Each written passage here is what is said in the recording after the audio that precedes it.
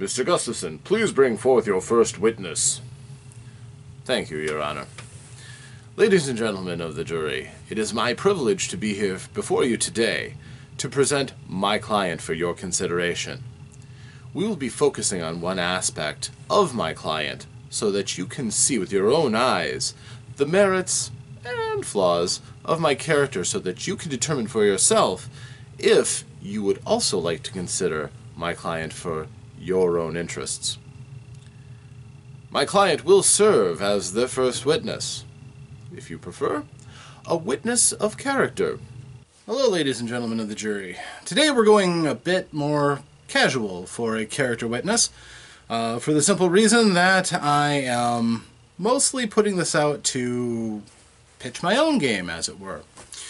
Uh, today we are not looking at someone else's work and tracking their progress throughout their game development and life of a particular game. This game has not yet really been born, so, but it is about to be.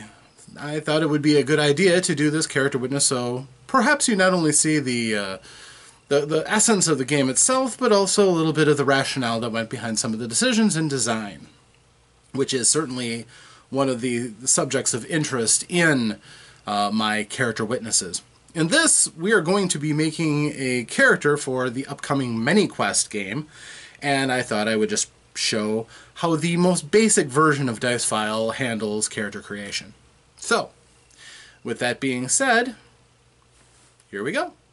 Now here we have my DicePhile character sheet um, that I cobbled together very quickly. It's a useful character sheet, um, but as you can see, it's not very intricate for a good reason. This this is not a very exact, exacting, crunch-heavy game. It's a game more that celebrates probabilities and possibilities rather and storytelling over uh, you know richly detailed. What's the tactical advantage of this weapon over this weapon, and so on and so forth. So, we are making uh, Dirk Casterly, uh, my bard character, for uh, my ManyQuest game. And I thought I would have some fun because I haven't done uh, calligraphy in a while. So uh, we will be. Uh, player name is ManyQuest.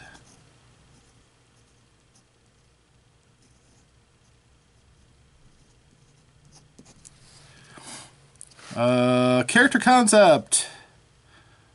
Um, hapless bard.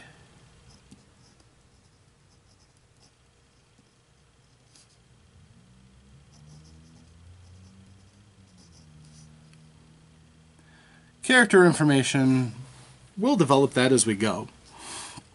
So, uh, basically, there's only a few things that we have to do for character creation. We have the concept, Hapless Bard. As long as we role play in character, uh, we'll get rewarded for that and can advance our character more quickly if the viewers who give the directions for what Dirk is going to do think to stick in character of a hapless bard.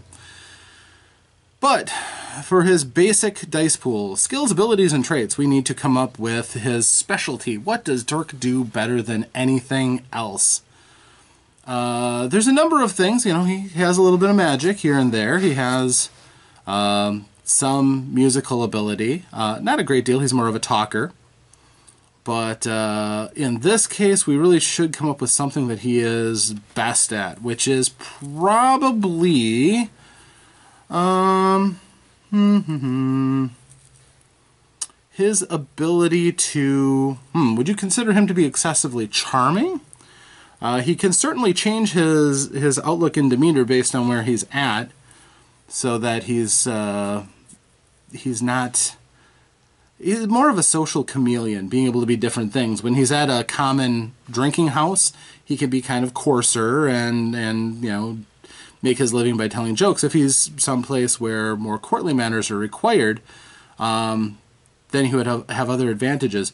So we'll just say, um, as far as a skill goes, uh, his ability to adopt different mannerisms and skills and things, um, just call that socializing.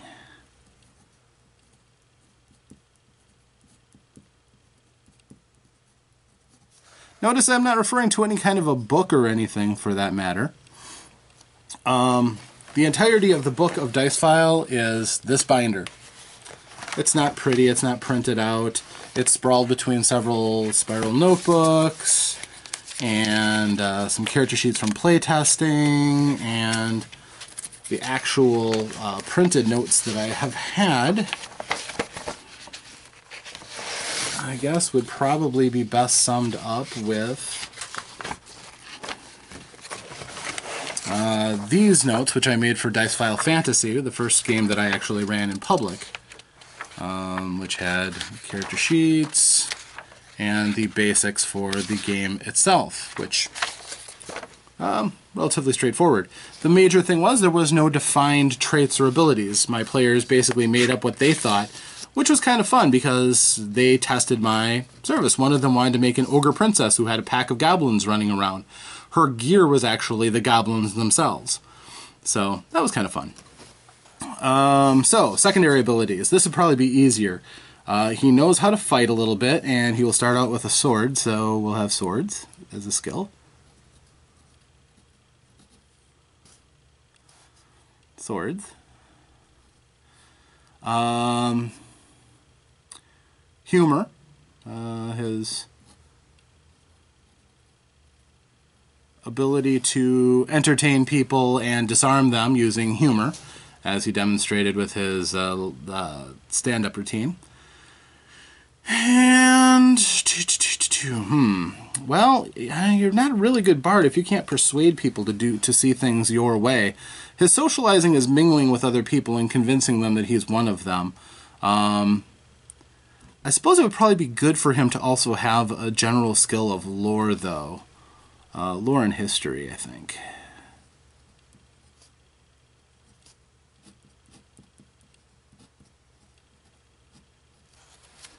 All right.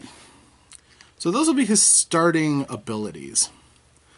Uh, he will hopefully survive to get more, but for the present, that's what we're going to go with.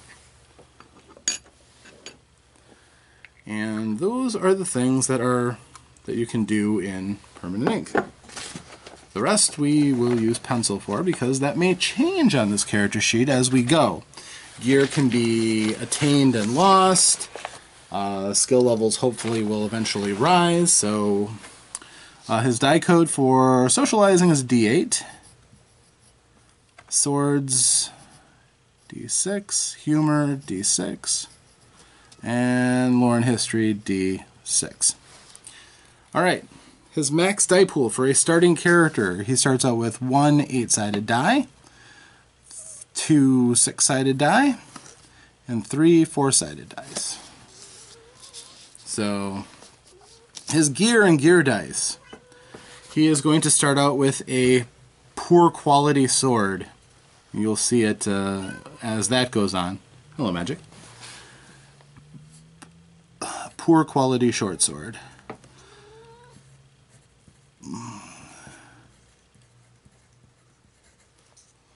which is at a D4. It's basically like a quality wise, it's probably about equivalent to a dagger. A little longer, but not a very impressive weapon. Uh, also, no, no, no magic.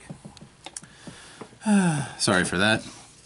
Uh, he's also going to start out with a backpack.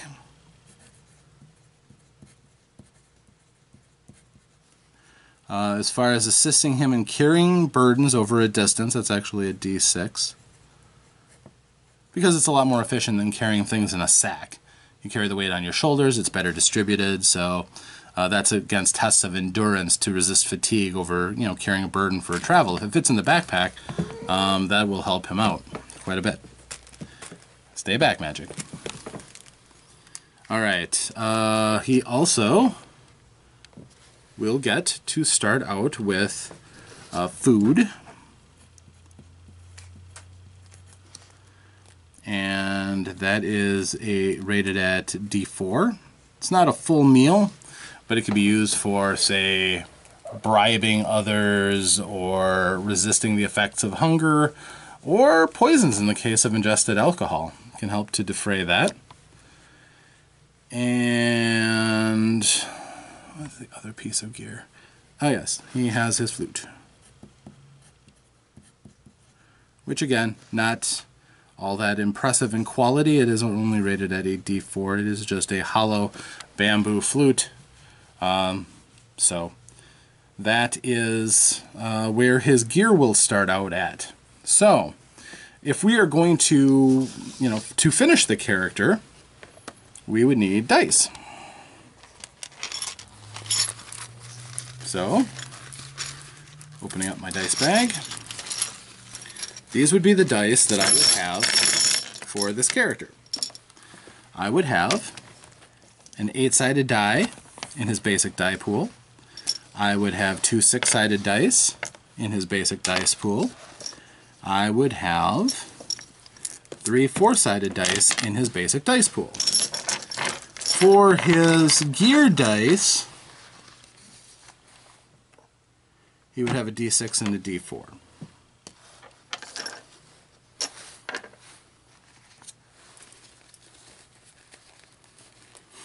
And I will grab a d4 for that. Thought I had enough dice, but maybe I don't.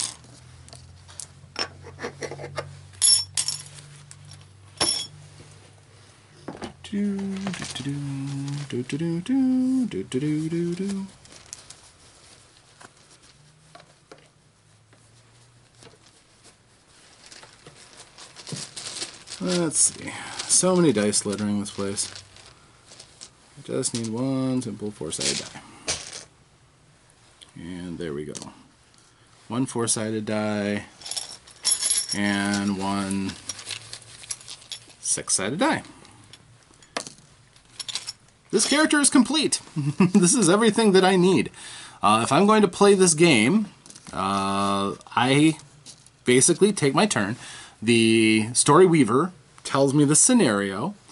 I come up with what I want to do regarding that scenario. Uh, say, for instance, I'm trying to ingratiate myself with the Thieves Guild. I want to try to use my socializing skill to get into the Thieves Guild. At the same time, the rest of the group may be doing something else. So I would use, if I really want to make this attempt, I can use any die from my eight-sided die, my six-sided dice, to my four-sided dice. I would use that Plus, if I wanted to, say, try to get in by appearing to be an entertainer and using my flute um, to show off my skills, I might use my flute, my D4. And to use these abilities, I would, in my turn, uh, if I can't think of anything else, I would shortly narrate it. I will go up to the door of the Thieves Guild and with my flute try to impress the the door warden so that he lets me inside so that I can have access to their guild. So I would roll these dice. I got a 3 on the 8-sided die. I have a 4 on the 4-sided die. I would use the 4 because it is a higher number. I impress them with my flute skills. Uh, because I rolled maximum on that die, it actually gives me a plus 1, so I have a 5 in my skill to get through. If the guard is bored and they're not really on alert or anything like that, that's almost certainly going to be enough to get me through. He liked the fact that I have a flute and he's going to let me in to entertain people. Which is which is excellent. My eight-sided die would go into my spent dice pool. My four-sided die would go back into my gear dice pool. I would have uh, fewer dice to use until the scene is over and refreshes and my spent dice come back. Uh, but I still have this potential left to use, so I could still use swords, humor, or lore and history at my D6, which has not gone down at all. Or I could try just about anything with the D4, the default for someone who's not trained. And if I can somehow work my gear into it, I would still be able to use my gear dice for that. If it's a fight, for instance, I could use my six-sided die for my sword skill and my four-sided die for the short sword and attempt to defend myself. Uh, say I'm you know trying to get in a quick stab. I rolled a ooh a six. That's my skill is excellent. Uh, so that would be a seven on that. I rolled a three for my sword, but that isn't more than the six. So I'd have a seven, which is good enough to probably land a blow on somebody unless they rolled really well for defense. So this is DicePhile, effectively. And that is the core of how the game goes. So, uh, now that we've gone there, back to me. So that is DicePhile. At its heart, it is a very simple set of rules that employ as many dice as are prudent for the level of play that you're going to be at. And um, it includes several levels of customization built into the game. You choose what lens you're going to play at. If you're going to play with super giant death mecha robots, you're going to still be using the four sided die, six sided die, eight sided die, 10 sided die, 12 sided die stage. It's just that those are going to mean completely different things. Are they your megawatt death kill cannons for those robots? Or are they a bow and arrow for a goblin? It all depends on the lens that you're going to use, but the system holds up uh, for each different lens. As far as what's allowed within your game, if you're a story weaver who doesn't give any direction to your players and you give them freedom to do whatever they want within a particular lens, you could create a space marine on the one side with uh, you know all of the you know some some armor and a weapon and stuff playing right alongside of a wizard who has access to magic and other things um, as completely unguided, it almost becomes similar to a game like Fate, which is governed by its aspects and things. This has a different mechanic, but you can play completely open. On the other hand, if you put a filter on the game, that is, the story weaver uh, clamps down and defines what are the allowed abilities, what are the allowed skills, what traits are commonly used, you suddenly have a much more guided system, which is how I kind of intend to release DicePhile. It's going to have several released filters for things like space and fantasy and, and so on and so forth. So, uh, as far as how the game uh, runs, uh, combat works uh, with exchange die rolls. And as you exert yourself through a scene, attacking, defending, doing different things, you're losing dice out of your dice pool and closing down what you're able to continue to do in the scene until it refreshes and everybody gets their potential back. Um, a scene can be anything from you get into town, now what? And the Storyweaver may give everybody an hour to do the different things they want to do. So a person who has a, a, pool and they want to do a lot of different things might spend dice to use their skills to do different things in the town. Other per, other persons without those kind of skills might just say, "I'm just going to go to an inn," or "I'm just going to go and, you know, look look for a place to rest," something like that. Uh, it's it's open enough that anybody can play it at the level that they want to. It is not a finely tuned, detailed game. It doesn't pretend to have a lot of crunch. The difference between a long bow and a short bow really isn't going to be all that great in reference for this game. It's mostly going to be about ranges primarily in the scope of where combats usually happen in a role-playing game. So you're not using a typically a warbow that you can fire hundreds of yards away. Most of your fights are going to be more intimate, so that a bow is going to be something you just knock an arrow to, aim, pull back, and let rip, and then your your physicality is going to determine more on that. But it's a game that also uh, rewards higher levels of skill, giving you access to a deeper die pool and allowing you to still be as effective as perhaps somebody who gets by because of their gear and not a lot of potential. There is a kind of a balance that's allowed in this game for that reason. Of course, creating a character doesn't show you all the little intricate details about things like pushing and, and the drama die and things like that, but the mechanics are the essential things that are are going to be outlined here. How to create the character, how to lay out how your attributes and skills end up being. Uh, and we didn't really go over the difference between an attribute and a skill because in this context it's really not that important. Um, for the most part, all of the things that we chose were going to be skills. Um, for the most part, uh, Dirk is not an outwardly impressive person. He doesn't have massive strength that he is going to, you know, uh, step up and do great feats of strength. He, while he has some skills at humor and uh, grifting through uh, through groups with his socializing, he is not himself amazingly charismatic to the point where he just walks in and can bend the entire room to his whim. That's something he's just not at. Uh, he covers instead by his skills that he has learned. Um, skills are a bit easier to uh, to elevate and raise, which can be useful. Um, so you know, it's those are things that he can work on as he goes through. Just like uh, in, in a lot of games, where you know you have you track experience. Well, because you're using a, a fairly simple system that only has primarily uh, a few different levels of skill. It also doesn't get too detailed and bogged down with you know, how many character points or, or how much of an experience total. You get advancement points periodically as you do well and as you stick to playing out your character.